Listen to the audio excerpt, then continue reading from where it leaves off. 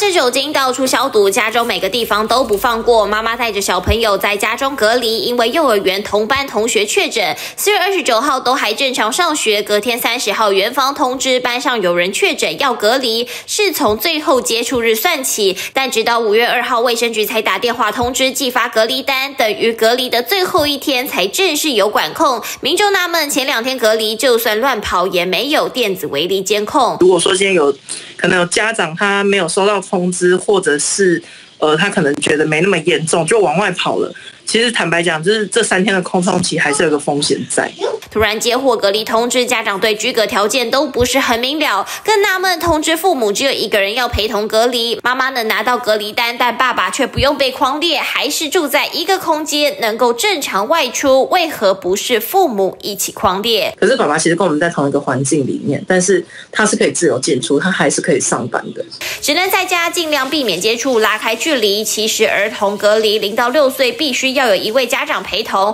这位家长和孩童都能拿到居隔。通知书等于这位家长要和小孩在家一人一室隔离，不能跟同住家人有接触。不过六到十二岁的小朋友若要居隔，家长有两种方案选择：一种同样是一位家长列为居隔者不能外出，陪同小孩在家一人一室隔离，要跟同住家人隔开；又或者家长轮流在家照顾，父母都能外出，当然就没有居隔通知书。不过这位孩童得一人一室，不能跟家人接触。确诊数暴增，卫生局框列速度都已经隔离好几天才通知相关 SOP，没人告知，家长也被搞得不飒飒。推本新闻综合报道，掌握全球情势、国际新闻，全新选择 YT 频道 TVBS 国际 Plus，扩大视野，欢迎订阅并开启小铃铛。